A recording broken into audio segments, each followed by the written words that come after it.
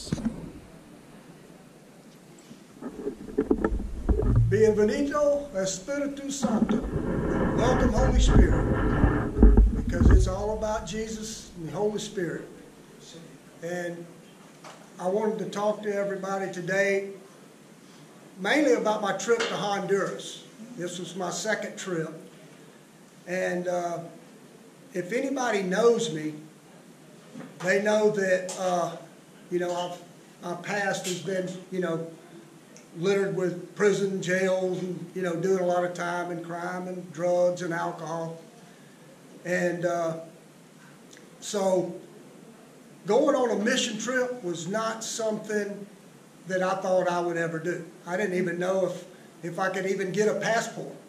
I mean, I've always been on probation or parole, but uh, uh, I'm at church, Christ Fellowship, and Brian um, Norris is our team leader. He's an elder at Christ Fellowship. He was going to speak today. And I should have never told him that I would uh, back him up if he couldn't make it. because he's a busy man and he's got a lot on his plate. And uh, so he sends his love, even though he hadn't said it yet. I know it's, he's wanting me to relay that. But uh, Brian Norris, as well as a lot of people at this church, Christ Fellowship is a great guy. And I remember him, I'm going past him in church, and he said, he said, Mark, I want you to go to Honduras. I said, You want me to go to Honduras? Uh, okay. I said, I, will think about it, you know, uh, and uh, get back with you. So I'm thinking, no one really asked me too much to do anything, you know, uh, um, because I let it be known my past, and some people might be a little leery of, I don't know. They have to get to know me first.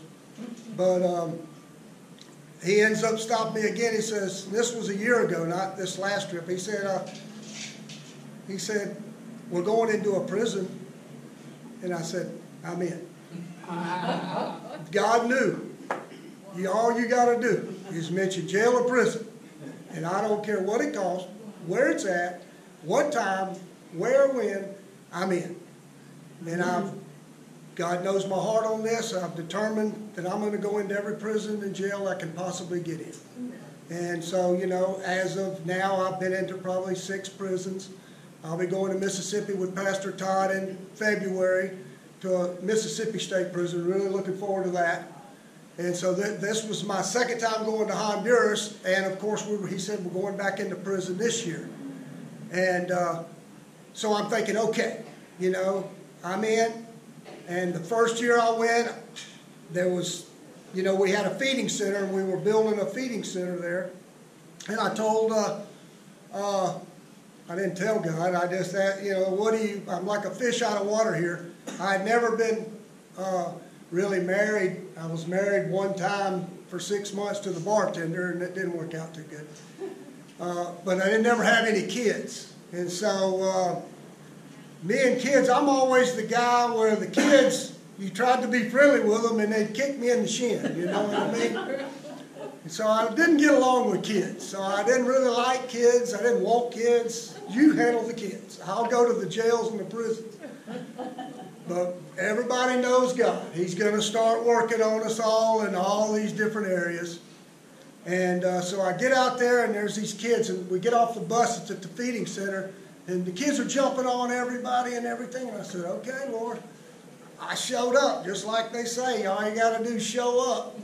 Next thing I know, one kid jumps on me, another kid jumps on me, and then I'm swinging them around.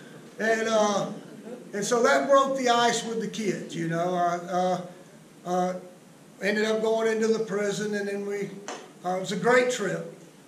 Uh, but I kind of almost, about the last day I was running out of gas and I didn't know too much about keeping my spiritual tank filled. You know, pastor told us, you know, you got your, your uh, emotional, relational, mental, physical, and spiritual tanks. You know, you got to keep them filled. And so this time, I was determined all my tanks were going to be filled and I was going to let God do whatever He wanted, you know. This was going to be a, an awesome trip. And um, and it really was. It was amazing. First place we went to was a school. And I said, okay, Holy Spirit. I said, you tell me the kids were running around everywhere. I said, just let me lock eyes with with a kid, uh, and I'll start there, you know. So this kid looks at me, and he's he's got a California shirt on. It says California, and I said, I'll be. And so I, I walked over to him, you know, and uh, I said, Como, uh, como te llama? You know, I had a few little uh, phrases I could say. And uh, he told me his name. And uh, next thing I know, another kid come over, como te llama? And then another kid come over. And of course, we all know it's the Holy Spirit, you know, and uh, answering my prayer. And so another kid shows up and he can speak English. Uh-huh. And the next thing I know, I'm telling these kids about my testimony, you know, and there was some bars on the school window, you know what I mean? And I was telling them how in California, that's where I got started in my crime spree, was California. I robbed a gas station with a, a machete. So that's how real smart I was. I mean, I, I, I, went for the, you know, I didn't go for the banks and the vaults. I just went for uh, uh, the few dollars in the cash register, you know. I just needed to get high. And so I was telling the kids my testimony, and they just come and flock. And next thing you know, I don't even remember what I said, but they were all just laughing and cutting up, and I was uh, just having a good time with them, you know. And uh, and so, you know, then we went into the prison, and the guys knew me and remembered me, and uh, one guy got out and came to the church service. You know, I mean, and, and we were at that church service, and the Holy Spirit just fell on us. And, and you know, Gavin, he's you know he's he's a dancer anyway, but I'm not really. I used to be a dancer. I mean, uh, you know, I used to hit the discos when they let me out of prison. I would head straight for the discos. But uh, uh, we fell and we danced in that place that night like you wouldn't believe. It was just the most amazing night. And uh, we went in, uh, like I said, we went into the prison, and, and I love those guys. And you know, as much as God uses me in the prisons, I, I, I, just, man, when I go into a jail or a prison, I, I'm just at home. You know, it's my home away from home. And I love, I, I just love all the guys in there. I could care less what they did; it doesn't matter. And uh, I just want to tell them the truth because you know that's what what set me free. You know, was was the Son, Jesus Christ. I mean, once uh, the Holy Spirit fell on me in that jail cell, and I remember apologizing to a prison guard, and that's when the heavens opened up and my whole life changed. Everything changed. And then I started wrapping the Word of God around my heart and declaring the Word, and I was. I, I would have actually maxed out in two more years. I still, I would have, you know, I've been out of prison for 20 years now, but that's how much time I had and how much I was going to do. And God intervened. And uh, so instead of being in there, God, God uh, directed my steps, you know, everywhere I've been since I got out. And uh, I know who saved me. I, I have no other uh, anything else to do uh, but proclaim His goodness. And so, you know, um, um, we went into a hospital out there, and, and the whole time I'm out there, the roads are just rough, you know. And I said, I said, man, I can't believe these people aren't wrecking, you know, because there's no there's no uh, signals, there's no lines, everybody's just honking and wide open, you know. And I, I said, I'm surprised there's not motorcycle wrecks. So we went into the hospital and Pastor Marty and myself and another guy named Nico went into this one unit. And I looked down through there almost as far as you could see. We started with one motorcycle wreck, motorcycle wreck, motorcycle wreck, motorcycle. I mean, they were wrecking. you know what I mean? Just didn't see it.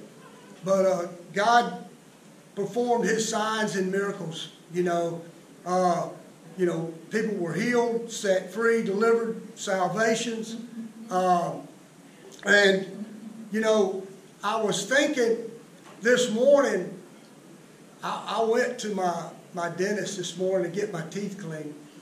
she had done it one other time, and she said to me, she said, do you have a family member named Rick? I said, yes, ma'am. I got a, a younger brother named Rick. Yeah, I went in Doraville. I said, grew up in Doraville. I said, yeah, that's my little brother, you know, and he was my, underneath me. And Rick knew me better than anybody. And she said, I used to come over to your house and jump on the trampoline. And I said, yeah, uh, that was my trampoline, I, you know, because I was the trampoline guy. And so she she said, and you you're uh, Mark, and I said, yeah. and so she knew everything about my past, and I mean, you know how you ever think about the look everybody had on Lazarus when he come out of that grave? everybody expected me to be dead, and that lady said, she said, "So you you make you you okay? You make you making it?" I said, "Take a look. I mean, you know, God can clean you up, buddy. I don't care what you've done. I just tell them in, in them jails, you just surrender your life and watch God do it. Forget about the time. You, you know, because I, I didn't know it. I still had, even when I had surrendered, I still had to do three more years, and I could have done 20, 25 more. Uh, but that's how good God is. He doesn't yes, care. And he, he just wants us to surrender to Him. And like, like Bob and Jeff and Tom, uh, you know, and, and, everybody, you know, we just all just trying to please God. You know, we have our faith, we're pleasing God the best way we can. But I was thinking of, of uh, Mark 16, and I had always looked at Mark 16, you know, because it says, uh, and these signs shall follow them that believe, that in my name we shall cast out demons, we shall speak with new tongues, take up serpents, and if we drink any deadly thing, it shall not harm them, and we shall lay hands on the sick, and they will yes. recover. Yes. So I'm, I, I know God's get, empowered us, and He gave us the power and everything, but you know, sometimes we, we might like, lack confidence or whatever. And God was showing me this morning that uh, drop back a little bit, a couple of verses, and it was in 14. And you remember when uh, the 11, it was, you know, uh, Judas had already killed himself. So the 11 were sitting there eating just like we're eating right now. And uh, Jesus shows up. And uh, what does he do right off the bat? He rebukes them for their unbelief and hardness of heart. But what happens in the next verse? He said, Go therefore and preach unto all the nations, you know, and tell them about me and everything. You know, God, He doesn't even care. He's like, it doesn't matter where you're at today. It doesn't matter what you've done, not done. It doesn't matter. You can start right now, today, and just go. You know, everybody's got something. I went out to Bob's Godmobile before I took off for Honduras and I was going over a lot of stuff, and I, I really wanted to serve more, but I was so focused on this trip, I was giving everything I had into it, fasting and praying because, you know, we all want to be used by God, you know? And so uh, I did, and it's, it's a wonderful thing, and I love the kids uh, now. Uh, God is uh, using me mightily with these kids as far as uh, I'm not opening a daycare though, or nothing. uh, so no, don't nobody get no ideas. I'm still going into the jails and the prisons. But Brian Norris, we were in the baptismal pool before we left on the trip, and he said, "Mark, the Holy Spirit."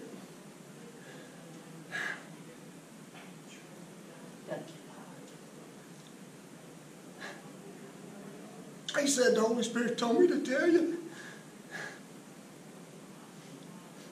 He's got more for you than just the jails and the prisons. We limit ourselves. I don't think I'm good. I'm only good for the jails and the prisons. That was my thinking. I loved them. I thought I'm happy. I'll just do jails and prisons. I'll let everybody else handle all this other stuff. Just let me in there.